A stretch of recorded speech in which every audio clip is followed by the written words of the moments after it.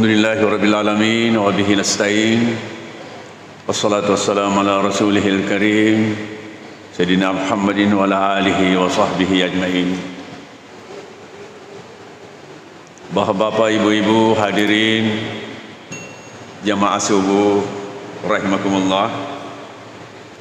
Innalhamdulillah. Bulan suci Ramadan Tahun ini Tahun ini 1444 Hijriah sebentar lagi sudah akan berakhir. Sudah akan berlalu dari kita semua. Dan kalau umur kita panjang, kita masih akan bertemu tahun depan. Sekiranya tidak, ya Ramadan tahun ini adalah bulan Ramadan terakhir buat kita. Bapak dan Ibu sekalian, karena sudah akan berakhir, ya sekarang ya bahkan sejak beberapa hari terakhir ya suasana atau aroma mudik itu sudah terasa ya. Apalagi kalau di ibu kota ya sampai kemarin saja sudah ratusan ribu yang meninggalkan Jakarta. Entah di sini. Karena itu Bapak sekalian topik kita subuh ini adalah mudik dan etika di jalan. Mudik dalam bahasa agama kita adalah safar, perjalanan atau melakukan perjalanan yang ternyata mudik atau safar itu sesuatu yang sangat diseriusi oleh agama kita. Ya. Buktinya ada hadis Nabi Shallallahu Alaihi Wasallam riwayat Ibnu Majah yang berbunyi Idza kharaja salasatun fi safarin falyu'ammiru ahadahum. Kalau tiga orang ya minimal tiga orang melakukan perjalanan maka hendaklah mereka menyepakati salah seorang di antaranya sebagai pimpinan perjalanan sebagai ketua rombongan Bapak sekalian. Jadi ini menunjukkan bahwa harus ada persiapan yang akan menangani, memanage perjalanan saja sudah harus disepakati. Ya. Tentu apalagi yang lain-lain. Ya.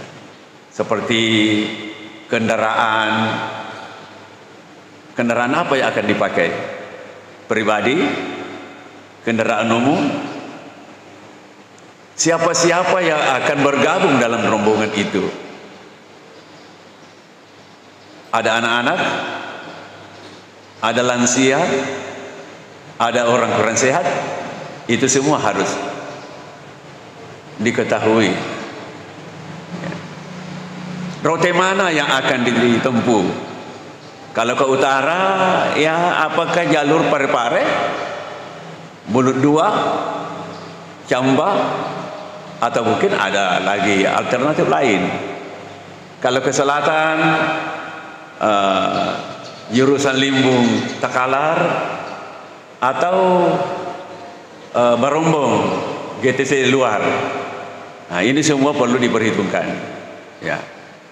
Kalau misalnya hujan, ya mana rute yang lebih aman? Tentu kita harus hindari yang punya apa tebing-tebing, punya bukit-bukit yang bisa saja longsor, runtuh, kalau hujan keras. Ini semua perlu diperhitungkan. Ya. Hadis lain riwayat Ibnu Mubarak berbunyi, "Idza aradta an taf'ala amran fatadabbar akibatahu." Kalau kamu akan melakukan sesuatu kegiatan ya suatu urusan include di dalamnya perjalanan tentu mudik pikirkanlah mata-mata ya, terkait kesudahannya. Jadi artinya dari awal sampai akhir itu harus kita uh, pikirkan persiapkan Mungkin dari sinilah orang tua kita dahulu ada semacam pesan. Batu memang pako mahange di tujuan no nampak lampu ko riballa. Itu kan ada tentu bapak orang tua kita sudah biasa dengar seperti itu. Batu memang pako mahange nampak lampu ko riballa. Ini tentu maknanya ya pikirkan, persiapkan, pikirkan, laksanakan dengan baik. Ya. Nah, ini namanya pijak puturiolo. Nah, pijak puturiolo. Jangan sambutara. Nah, jangan sembrono saja. Nah. Dan orang yang akan bepergian dua yang dia harus perhatikan ya. Keselamatannya dalam perjalanan. Ya.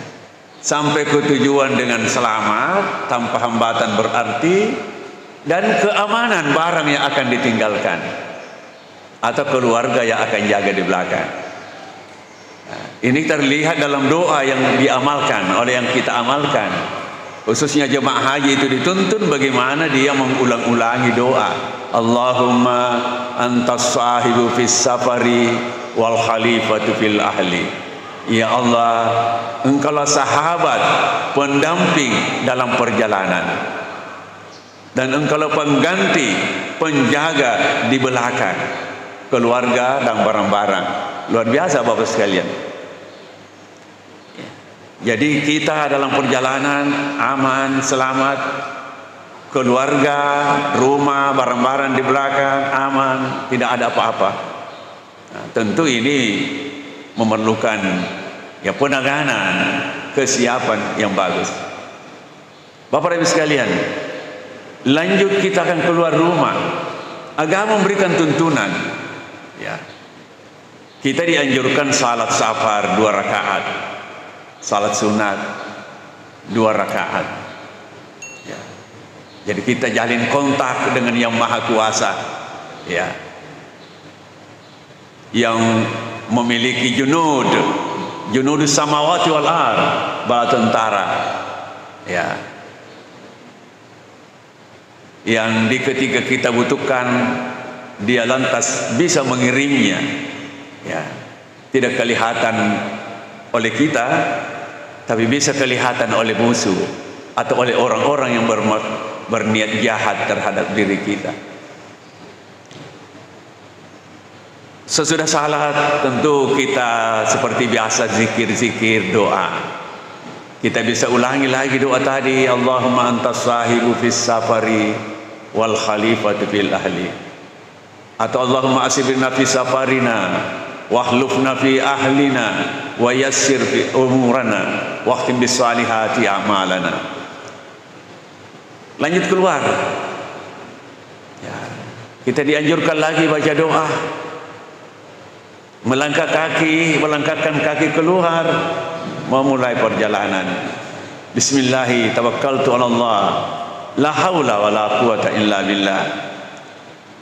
Dalam hadis disebutkan bahwa ketika kita ucapkan doa ini kita baca doa ini malaikat itu meresponnya Artinya doa eh, malaikat ikut mendoakan kita. Apa respon malaikat? Hudita wa kufita wa wukita. Ini tiga kata ini atau tiga kalimat ini luar biasa maknanya. Sudah mencakup semua kebutuhan kita. Khususnya dalam perjalanan. Khususnya ketika berada di tempat tujuan. Hudita kamu kata malaikat kamu adalah orang yang telah mendapat petunjuk penyaksian malaikat. Kamu adalah orang yang telah mendapat petunjuk. Wa kufita. Kamu adalah orang yang mendapat jaminan kecukupan. Dia mau bata-batai. Silakan jalan. Tena no cibur lempanno. Diterima ke segambaji. Ya. Salewangan sanihasai keluarga no kunjunginya. Ya. Kira-kira seperti itu maknanya. Nah. Wawu kita kamu adalah orang yang telah mendapat jaminan perlindungan jaminan keamanan Bapak dan sekalian kan rawan kita ini dalam perjalanan. Kendaraan kita akan lari 80 lari 90 bahkan mungkin 100 ya orang lain juga seperti itu kita akan berpapasan di jalan. Ini. Bapak dan Ibu sekalian. Ah. lantas bagaimana di jalan? Bagaimana etika yang harus kita bangun? Ya, ada petunjuk dari Nabi sallallahu alaihi wasallam yang dikenal dengan hakut tariq, hak jalanan. Ini hebat sekali agama kita ini. Jalanan saja ada haknya. Ketika kita akan menggunakan jalan itu untuk berlalu lintas, berlalu lalang, ya berikanlah haknya. Supaya semuanya jalan baik. Nabi wasallam bersabda dalam hadis riwayat Al-Bukhari Muslim, "Utut tariqa haqqahu." Berikanlah jalanan itu akan haknya. Lalu sahabat bertanya, "Wa ma tariq?" Ya Rasulullah, apa itu hak jalanan? Mana itu? Nabi jawab, "Gaddul basar." Wa kaful adza. Wa raddus salam wal amr bil ma'ruf wan nahi anil munkar. Ada lima poin yang merupakan hak jalanan yang harus kita ya tunaikan dalam perjalanan. Gaddul basar artinya jaga mata. Ya, jaga mata. Ya. Ya kalau dalam bahasa Makassar Tiap kau balala matahai Tiap kau sambaran janjan Kiniki. Kalau dalam konteks berlalu lintas Tentu ini bisa bermakna Harus konsentrasi Jangan dalam keadaan mengantuk Apalagi yang sopir nah, Bapak ibu sekalian Ini harus menjadi perhatian Ketua rombongan Ya ketua keluarga ya tentu bapak Segalis ketua rombongan Bisa merintahkan anaknya yang mana ini yang bawa mobil Anak pertama kah? Anak kedua kah? Ya, kira-kira seperti itu. Ya, supaya semuanya bisa jalan baik dan aman. Ya. Gedul basar itu yang pertama. Jadi jangan dalam keadaan mengantuk. Jangan liar pandangan. Yang kedua, kaful adza, mengantisipasi terjadinya kesulitan di jalan ya hal-hal yang bisa merepotkan kita. Ini kaful adza. Al adza bisa dalam arti material barang benda. Bisa dalam arti non benda ucapan. Ya. Jadi kita harus hindari hal-hal yang bisa menyakiti apa kita atau orang lain. Ya. Apa itu material jalanan tadi hindari yang berlobang hindari yang ada genangan hindari yang rawan bahaya bencana. Ya begitu juga ucapan-ucapan. Yang ketiga radus salam. Mengembalikan salam menjawab salam. Memberikan salam sunat menjawab salam wajib. Tapi karena kita dalam perjalanan ya bisa kita pilih mana redaksi yang yang paling singkat. Apalagi Nabi sallallahu alaihi wasallam bersabda man assalamualaikum kutibat lahu asyru hasanat. Siapa yang ucapkan assalamualaikum 10 pahalanya. Wa man assalamualaikum warahmatullah kutibat lahu isyruna hasanat. Siapa yang mengucapkan assalamualaikum warahmatullah 20 pahalanya. Wa man qala assalamualaikum warahmatullahi wabarakatuh kutibat lahu salasuna hasana. Siapa yang ucapkan assalamualaikum warahmatullahi wabarakatuh lengkap dituliskan 30 pahala. Jadi kita bisa pilih dalam perjalanan Bapak Ibu sekalian karena kita tentu buru-buru mau cepat-cepat yang singkat saja. Ya, assalamualaikum. Tetapi kalau mau buka rapat, ya mau bicara resmi, ya tentu yang lengkap kita ucapkan. Yang keempat dan yang kelima ialah al-amru bil ma'ruf wan nahyu anil munkar. Ya, memerintahkan yang baik, mencegah yang munkar. Dalam konteks lalu berlalu lintas Bapak dan sekalian tentu al-amru bil ma'ruf wan nahyu anil munkar ini bisa kita pahami kaitannya dengan ya mematuhi pematuhan rambu-rambu lalu lintas. Ya, kita sudah diatur oleh rambu-rambu di jalan. Ya. Kapan kita harus berhenti? Kapan kita harus jalan dan jangan berhenti lagi? Itu sudah diatur. Di sisi mana kita jalan? Ini sudah diatur. Ya, yang saya hanya semua ini harus dipatuhi. Harus dipatuhi. Apalagi hadis Nabi al-muslimuna ala syurutihim. Orang-orang muslim itu terikat dengan syarat-syarat mereka dengan ketentuan dan kesepakatan-kesepakatan mereka. Kemudian terakhir Bapak dan sekalian, apa yang kita lakukan setelah sampai ke tujuan? Tentu tiada lain adalah silaturahim. Ya, silaturahim. Sila ini arti bisa berarti ya menghubungi atau menghubungkan. Bisa berarti menyampaikan. Bisa berarti memberikan. Ya. Jadi kita datang ya atau kita mengirim tidak datang tapi mengirim kita memberikan. Nah, kepada ar-rahim itu diartikan al-qaraba. Ya. Kaum kerabat orang-orang yang ada kedekatan dengan kita. Bisa karena darah keturunan bisa karena agama, bisa karena lembaga, kelembagaan. Termasuk ya domisili. Ini bisa kita lihat dalam hadis Nabi sallallahu alaihi wasallam yang bicara tentang hak timbal balik antara orang yang bertetangga. Al-jiranu salasatun. Tetangga itu ada tiga. Al-jaru lahu haqqun wa huwa al-musyrik, lahu haqqul jiwar Pertama ialah tetangga yang non tidak seagama dengan kita. Tapi kita berada berdomisili dalam satu radius pertetanggaan, maka antara kita dengan dia ada hak pertetanggaan. Kemudian kedua, al-muslim. Ya. Al-jaru lahu tetangga yang dua haknya yaitu muslim. Lahu hakul jawar wa hakul islam hak pertetanggaan dan hak Islam. Yang ketiga al-jaru lahu salah satu hukum. Tetangga yang tiga haknya.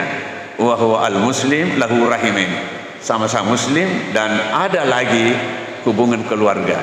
Nah, ini tiga. Ya, jadi Bapak dan Ibu sekalian, itu termasuk karabat. Orang yang ada kedekatan dengan kita. Sesungguhnya satu sama lain ada hak timbal balik. Wujud daripada silaturahim ini adalah ya biziaratihim wa maunatihim bin nafsi wal mali. Ya bin nafsi wa bil mali. Ya saling menziarahi saling mendatangi. Dan saling menolong saling membantu saling memberi. Baik dengan moral maupun dengan harta Nah, jadi Bapak dan sekalian kita akan mudik tentu apa ada apa-apa yang kita bawa. Pulang nanti juga ada ada ada oleh-oleh. Memang seperti itulah kehidupan ini. Ya. Bapak dan sekalian saya rasa demikian.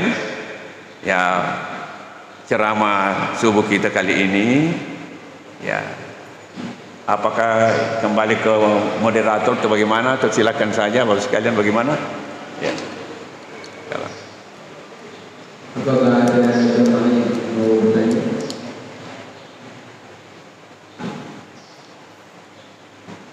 Assalamualaikum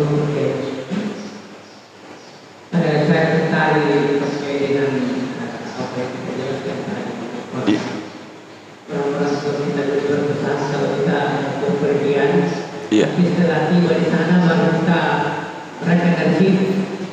Nah karena Makassar dan wilayah tentu belajar dalam pernah seperti itu. Iya. Eh, ini Ustaz kita untuk kesenangan kita boleh ya karena kita pembicaraan.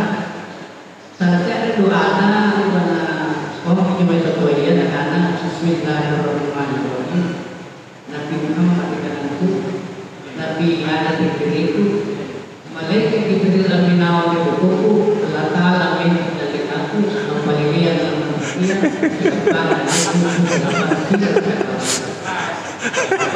Eh, kita tahu penjelasannya Ustaz Bagaimana hubungannya dengan eh, Tawakal Allah Apa yang coba kita Assalamualaikum Kurang jelaskan yang terakhir ke Pak. Macam mana harus gede? Apa? Hanya kalimat terakhir kah ya? Apa tadi? Itu, itu pertanyaan tadi. Buk, eh, doanya iya. Saya hubungkan dengan Rasulullah. Kan doa kan doa Ustaz. Iya. Doa kamu jangan mati. Iya. Rata-rata dengan selalu di lapangan. Iya. Bahkan dengan kamu pakai sabtu. Iya. Iya. Saya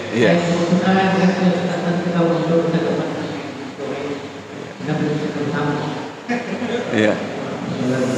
Iya, di kalangan masyarakat, di kalangan orang tua-tua kita, itu memang banyak doa yang seperti itu, Pak. Iya, banyak doa yang seperti itu. Iya.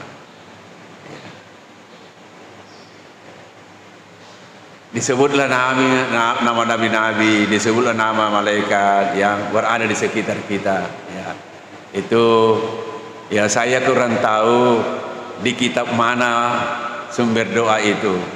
Yang jelas di masyarakat banyak doa yang seperti itu diamalkan oleh masyarakat kita.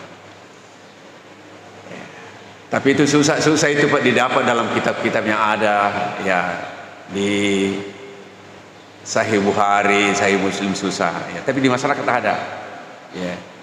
Sama halnya dengan doa kebal. Ya. Orang tua dulu eh, dia pinjam itu senjatanya Allah. Ya, dia pinjam. Dia pegang di sini. Iya minne. Barambam bete-bete ya. Kukulu batan jambua. Anti puliyai kiduka. Ampok koliyai tarang. Kum payakun. Nah, bagus. Iya. Kum payakun itu kan senjatanya Allah. Iya. Tapi diperangi tidak apa-apa. Iya. Ah, ini memang susah juga kita jaga dalami begini ini Pak. Iya. Iya. Ada juga memang yang pakai semacam jimat yang ini maaf ini. Ada juga yang pakai seperti itu. Di di parang tidak apa-apa. Sekalinya sekali waktu dia buka itu. Dia buka itu jimat-jimat nah. Lalu dia dia eh, anu begini jipading. Ah, anu anu begini jipading. Dia tutup kembali. Dia pakai. Eh, saat balap ni. Nah ini. Jadi memang susah ini jelaskan begini nih Pak. Ya. Susah. Ya. Jadi mohon maaf Pak Haji ya. Ah, memang doa seperti itu banyak. Orang yang tersangkut bulu uh, tulang ikan. Nah, doa orang tua begini Pak. Nah, dia pegang-pegang. Ya. Risumpahin nani kallong. Risubangi jina naung. Risumpahin nani kallong. Risubangi jina naung. Ini kan tidak masuk akal sekali.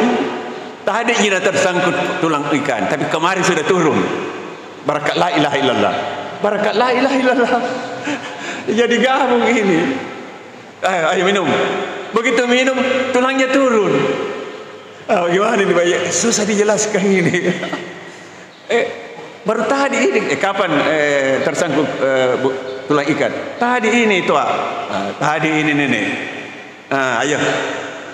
Ambil ambilkan air. Ambil air. Ah, dipegang-pegang sini. Eh, dari sumpahin nani kallon, dari subangi jina naam, barakallah ilaha illallah. Minum. Minum turun.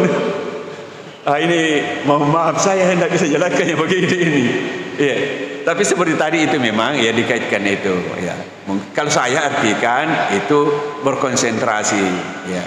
Ya, sehingga membayangkan ini jalannya akan ditempuh di sini, di sini titik-titik rawannya, oh di sini harus hati-hati. Ya. Mungkin saja itu Pak, kalau kita melakukan pijapu seperti itu, kan malaikat ini ada di samping kita. Malaikat ada di samping kita. Sehingga ketika kita sampai ke titik rawan itu, seolah malaikat berbisik, "Eh, hey, Abu Bakar, hati-hati kau di sini. Eh, hati-hati di sini." Bisa begitu, Pak. Ya, karena malaikat itu akan ada ini malaikat menyertai kita. Ya, sabda Nabi sallallahu alaihi wasallam, "Inna ma'akum man la yufariqukum illa indal khala'i wa indal jima'i. Fastahiyuhum wa akrimuhum." Sesungguhnya bersama kamu itu bersama kita ini ada makhluk mulia Allah. Ada makhluk mulia maksudnya malaikat yang tidak menjauhkan diri kecuali dalam dua peristiwa. Indah illa indal khalai ketika kamu masuk kamar kecil buang air. Atau indal jami'i atau suatu maaf melakukan hubungan suami istri. Malaikatnya jauh. Ya.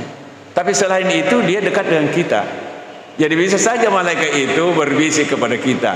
Ya eh hati-hati di sini. Ya hati-hati. Nah, ya. jadi se seperti itu Pak. Ya jadi mohon maaf tidak boleh dalam dulu kata lebih dalam berdekat ya. Siapa lagi Pak?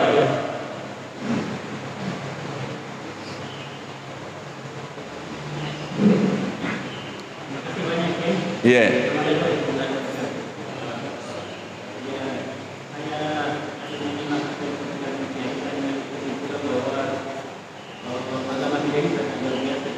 Iya. Iya. Iya, iya. Ada dua poin yang saya pertama kalau misalnya kita melakukan satu perjalanan jadi ada satu yang kita sepakati oleh pimpinan apakah pimpinan ini pimpinan ini yang kita sepakati bisa melakukan frekuensi Iya. kepada anggota ini kalau ada yang membuat satu kesalahan Iya. kemudian yang kedua kadang-kadang di tengah-tengah kita itu jadi ada yang namanya insting Insting. Iya. Eh, dia tidak memastikan bahwa melakukan terjadi, tapi dia bisa merasakan bahwa hal ini yang boleh kita besar kemungkinan ini akan terjadi. Jadi ada isti dan kunci. Nah, bagaimana dalam pandangan ulama jadi apakah isti itu dia termasuk dalam bagian kesirikan? Ya. Apakah tidak termasuk dalam bagian kesirikan? Kesirikan. Oh iya, iya. Iya, iya. Yang pertama tadi Oh, ya, intervensi. Iya, apakah ketua itu bisa mengintervensi? Ya, dalam bahasa eh, sehari-hari, bahasa dalam manajemen, ya pimpinan itu ada bisa apa namanya ya, mengambil kebijakan bisa, ya bisa saja pak. Hanya saja memang eh, salah satu fungsinya pimpinan ini ya mengkoordinasikan ya minta petunjuk minta, minta kesepakatan. Jadi eh, apa namanya ya ketua pimpinan ya bisa me- apa melakukan rembuk ya minta pendapat dari eh, teman-teman dari anggota rombongan. Tapi dalam waktu tertentu keadaan tertentu bisa langsung dia ambil ini bisa ya karena kita sudah sepakati. Makanya fa falyu'ammiru ahadahum. Dalam mereka menyepakati. Jadi kita sudah sepakat dia pimpinan. Jadi kita ini kan sebagai anggota sudah ada kesiapan mengikuti mendengarkan uh, pesannya mengamankan kebijakannya. Ya kecuali kalau memang keluar dari ya kesepakatan awal. Iya. Jadi saya rasa kalau saya bisa bisa. Iya. Eh, apa namanya Eh, kalau kita kembali dalam praktik Nabi Sallallahu Alaihi Wasallam, ya dalam banyak hal Nabi juga mendengarkan pendapat sahabat, iya, mendengarkan pendapat sahabat. Dan ada juga eh, apa namanya semacam saran, ya saran yang seolah-olah, ya seolah-olah kasarnya tidak menyetujui kan begini Pak ada ada itu sabda sabda Nabi ya yang mengatakan bahwa siapa yang mengucapkan ini dia akan selamat dari eh, masuk surga. Lalu ada yang bertanya, bagaimana kalau dia begini, dia begini, ya Rasulullah? Kalau dia begini, dia begini, iya, masuk surga. Ah, lalu ada sahabat yang ingin menyampaikan itu kepada orang banyak di pasar, di mana. Ah, lalu dita- ditanya oleh Umar, eh apa? Mau ke mana? Eh, saya mau begini, ini, ini, ini. Oh jangan, eh, ditahan. Ah, jadi kemudian hal itu diperhadapkan kepada Nabi. Lalu Nabi terima. Nah, itu kan dari satu sisi katakanlah Umar itu punya ini, ya. Lalu setelah disampaikan kepada Nabi, iya benar itu Umar. Nah, jadi begitu pak. Nah, yang kedua, apakah itu insting tidak syirik? Kalau insting yang tidak pak. Kalau saya tidak. Ah, begini. Eh, salah satu hidayah Allah itu namanya insting. Namanya hidayatul gariza. Nah, hidayatul gariza. Nah, hidayah gariza itu hidayah yang tidak perlu dipelajari. Datang sendiri. Ya, datang sendiri. Contohnya begini. Kita kembali dari kampung bawa ayam. Ya, maksudnya supaya bisa menetas pada saatnya bersamaan. Rukinna. Ya, ah ini namanya hidayatul gariza. Hidayah gariza, hidayah insting. Jadi sebenarnya itu bagian daripada hidayah Allah. Iya, hidayah Allah. Ah, asal jangan kita kait-kaitkan lagi dengan hal yang lain. Ya, ya ini petunjuk ini tuan tak. Ya jangan. Ya, itu. Kalau sudah itu sudah lain. Ya. Jadi kalau kita terima sebagai sesuatu yang murni, itu iya. Jadi kan uh, ada hadis uh, apa? Hidayatul hawas, hidayatul gariza, hidayatul hawas, hidayatul akli, ya, hidayatul din, hidayatul wahyi. Ya, itu. Jadi macam-macam hidayah Allah Subhanahu wa taala, salah satunya hidayatul gariza, hidayah insting. Anak apa? Begitu lahir, begitu dia apa itu? Kiri kanan mencari ASI. Iya. Mencari ASI. Begitu maaf, pentil susu ini sampai ke mulutnya, begitu dia isap.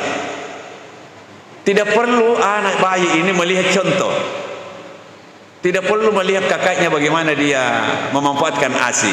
Ah ini juga namanya insting.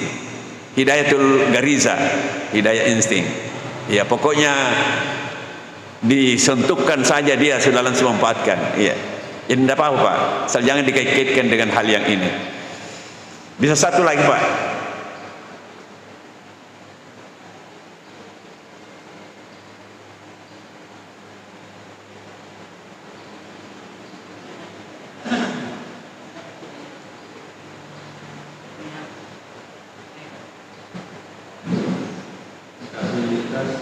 Ya. Yeah. Eh, yang saya tanyakan ini tadi kan dalam beberapa orang tentang perjalanan ada ini seorang ibu. Bagaimana kira-kira kriteria yang harus kita ambil dalam ini? Kadang-kadang apa kita pilih secara umum atau karena ilmunya atau dia belum mau atau ada yang tidak mau sekali Oh iya iya. Iya. Eh pimpinan mana ini yang kita pilih? Apakah yang punya ilmu atau yang mau? Ya. Jadi maksudnya di sini kita pilih pimpinan untuk memperlancar perjalanan. Ya kalau kaitannya dengan perjalanan tentu yang punya pengalaman perjalanan. Yang kalau ada apa-apa ditangkap polisi, ditahan polisi, yang bisa pintar bicara, bernego, ya kira-kira seperti itu Pak. Kalau ada kesulitan yang harus di, dibiayai, dia tidak pusingkan teman-teman, anggota, dia langsung tangani, dia langsung bayar. Kira-kira seperti itu. Iya. Jadi kan ini fal yu'ammiru hendaklah mereka bersepakat. Jadi anggota ini bersuara. Ya, saya lebih tunjuk. Semua menginginkan saya. Nah, ini ini kan kesepakatan menunjuk saya. Kira-kira seperti itu Pak. Kalau contohnya ini contoh, iya. Jadi yang mau itu kalau mau dan dasarnya ada, tidak apa-apa Pak. Iya. Kalau yang mau itu dia orang berpengalaman, ya kita mau ke Sopeng, dia memang orang Sopeng, ya yang punya pengalaman di sana. Kita sama-sama orang Sopeng misalnya begitu. Nah, tapi ada di antara uh, calon anggota ini orang Sopeng lama pejabat di Sopeng. Ya, ya kira-kira seperti itu, Pak. Dan dia juga orang berpunya. Kita tahu kalau dia itu gampang berkorban, ya untuk kepentingan orang banyak. Nah, itu yang kita kesepakati. Ya, pimpinan bisa saja mengkoordinasi anggota. Tanya, eh, bagaimana ini? Kita akan pakai mobilnya Pak A. Bensinnya bagaimana? Makan di jalan bagaimana? Masa dia punya mobil, dia juga yang tanggung bensinnya, dia juga akan bayar makan kita di jalan. Misalnya begitu Pak. Ini bagusnya. Jadi memang kita sepakatilah yang bisa ber, ah, mengkoordinasikan ini. Yang menyampaikan kepada teman dan teman merasa bagus ini sarannya. Tidak ada penekanan. Seperti tadi Pak, ya, ya uh, ada kaitannya dengan intervensi ya bisa saja hal-hal tertentu intervensi. Lewat pinang penipu ngaga ngan itu sumpah deh kaman nih bisa. Iya. Saya rasa kalau kita sudah sepakati itu dasarnya ada. Orangnya ini elastis ya. Artinya bisa ini menerima ini saran permintaan iya. Kira-kira seperti itu pak iya. Jadi uh, bisa karena pengalamannya ilmunya bisa juga karena kemampuan materialnya bisa juga karena pengalamannya dan memang dia minta. Ya kita tidak apa-apa kita tunjuk. Ya. Yeah. pokoknya ada dasar. Nah, ada dasarnya. Kita yakini bisa menangani permasalahan yang terjadi di jalan. Itu saja Pak. karena ini ini intinya bagaimana supaya aman lancar aman sukses. Selamat tidak ada apa-apa Ya, saya rasa demikian Bapak sekalian. Ya. Ya, terima kasih atas perhatian Bapak dan Ibu sekalian. Ya, mudah-mudahan uh, kita bisa menyelesaikan amalia Ramadan ini dengan baik dan kita memperoleh seperti apa yang dijanjikan Allah dan Rasulnya bahwa kita nanti keluar dari bulan suci Ramadan ini ke kharajat kayaumi wadadatul um ya keluar dari bulan suci Ramadan dalam kondisi suci bersih dari noda dosa bagaikan bersih sucinya kita dari noda dan dosa sewaktu baru lahir dari perut ibu. Saya rasa demikian Bapak sekalian. Ya terima kasih. Wassalamualaikum warahmatullahi wabarakatuh dipersembahkan oleh Yayasan Haji Muhammad Cengho Sulsel dan Takmir Masjid Muhammad Cengho Goa.